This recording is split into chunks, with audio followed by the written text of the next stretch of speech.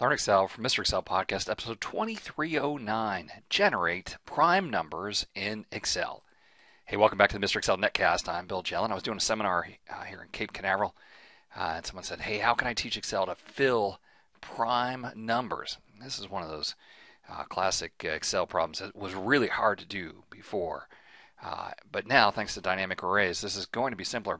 Before you proceed in this video, you need to open your Excel and see if you have this sort function. Right? If you type equals sort open paren and it doesn't know what you're talking about, then you don't have dynamic arrays yet. You have to go to Office 365, uh, you know, in order to have uh, these these formulas. So before I can teach Excel to fill prime numbers, I want to figure out how Excel can generate a list of prime numbers. I'm going to show you how to do this just using three formulas, uh, but let's walk through it uh, step by step. So the first thing I want to do is I want to generate a sequence of numbers, so equals sequence.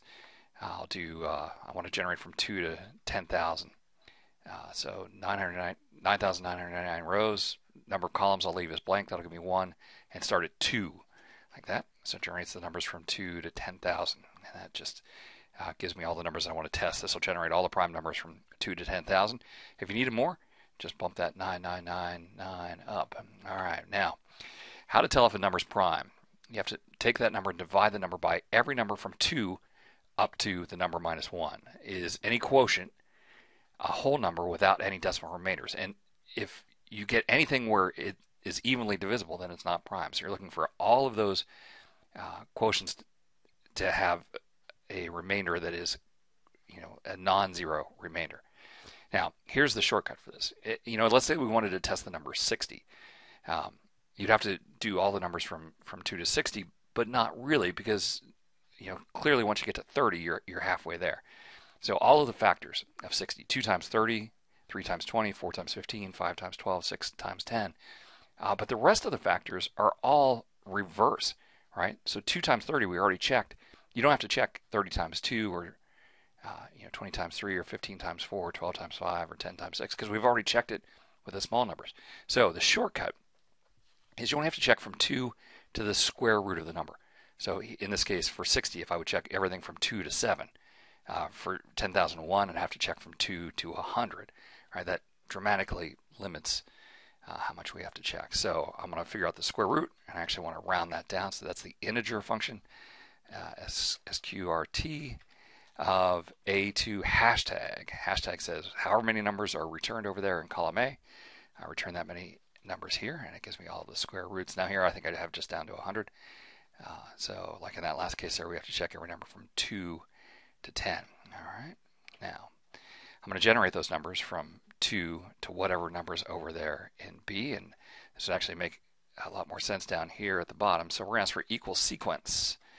I want one row. And how many columns do I want? I want not quite 10. I want 10 minus 1. Uh, where do I want to start? I want to start at 2, and the step will automatically be 1. See, that generates the numbers 2 through 10. As I copy that up, Beautiful. Okay, now uh, this works. So we're going to check everything from 2 to 2, from 2 to 3, 2 to 4, uh, 2 to 5, 2 to 6, and so on. Why are we getting calc errors there? Because I'm saying that I want zero columns in the sequence, and that returns a empty array, and currently Excel can't deal with empty arrays. So uh, 2 and 3 are prime numbers. We have to leave them in there, and we have to deal with that later. But for right now, we're just going to have calc errors uh, there in those first two, and, and we'll, we'll handle that uh, as time goes by. All right, so here's my sequence function. I want to divide that sequence into the number. So uh, you know, 2 into 4, 3 into 9, 4 into 16, and so on. Uh, so right here we'll just say equal A2 divided by. And can I double click to copy that down? Yes. All right, so there's our division. And what I'm really interested in is all of the stuff after the decimal point.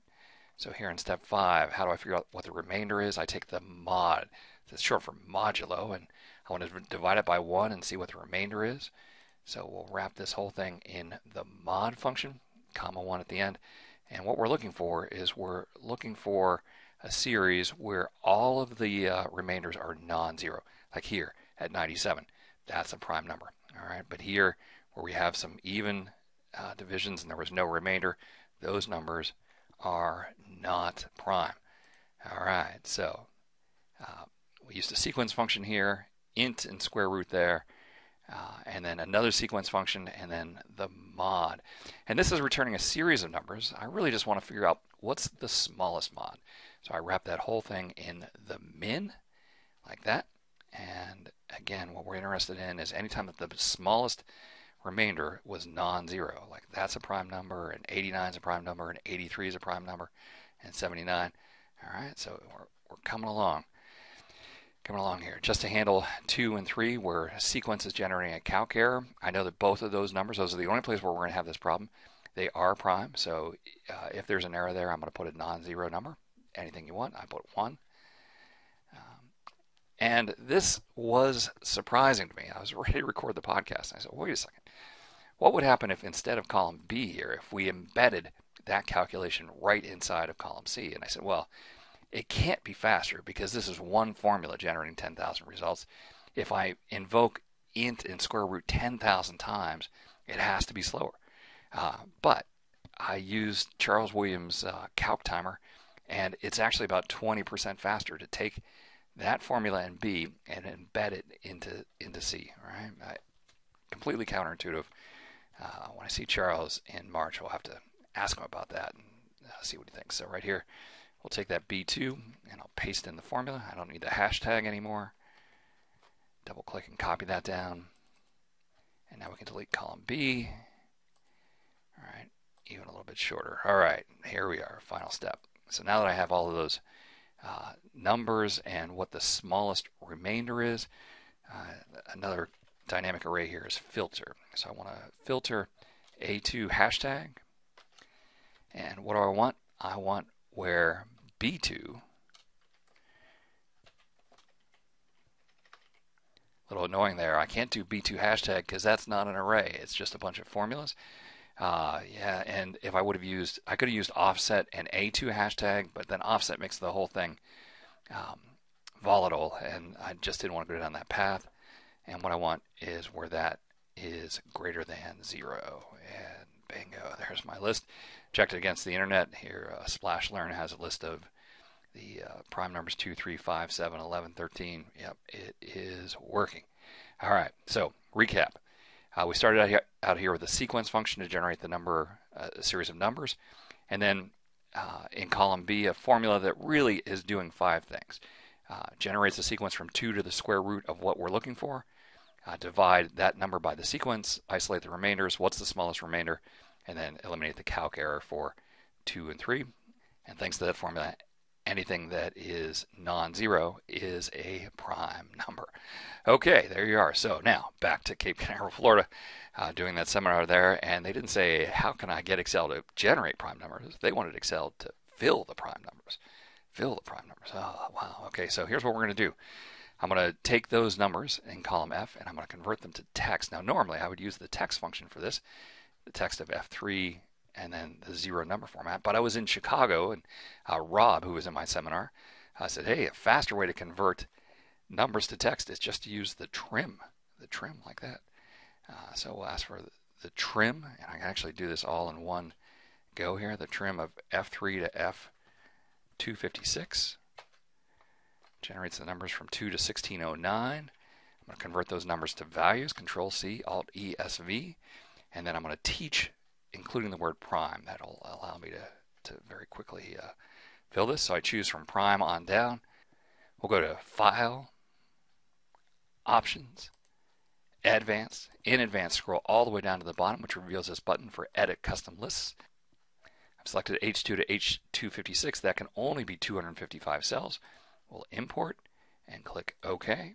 Click OK. And the next time, any workbook, I'll just do Control N I need to fill the prime numbers. I type the word prime, grab the fill handle and drag, and it will generate prime numbers like that. You can go across or go down, um, and it will work. All right, now the hassle. The hassle here is it's generating the numbers as text. Very simple. Just choose all of the cells, Alt D E F, and it will convert back. Well, these dynamic arrays are really, really cool. Uh, this book, Excel Dynamic Arrays, straight to the point, has lots and lots of examples uh, things you can do with dynamic arrays. Click the eye in the top right hand corner. Three bucks to, uh, to buy that book. If you like these tips, uh, please subscribe to this channel and ring that bell so you can be notified uh, when I have new Excel tips and tricks. Feel free to post any questions or comments in the comment section below. If you have a better way to do this, uh, please, by all means, this is a complicated video. I'm sure there are improvements. I want to thank you for stopping by. We'll see you next time for another netcast from Mr. Excel.